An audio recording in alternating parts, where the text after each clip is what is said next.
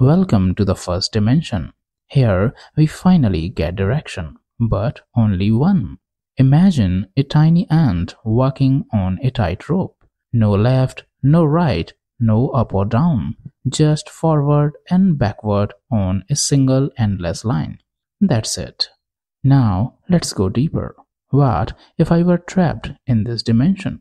You would never see beyond your path. No matter how much you move, you would only perceive a dot ahead or behind.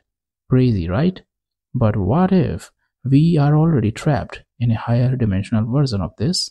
Could our universe be just one slice of a much bigger reality? And here is a mind blower. What if time is just the first dimension of a higher spatial reality?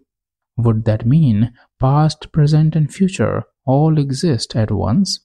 Let me know what you think in the comments. Thanks for watching.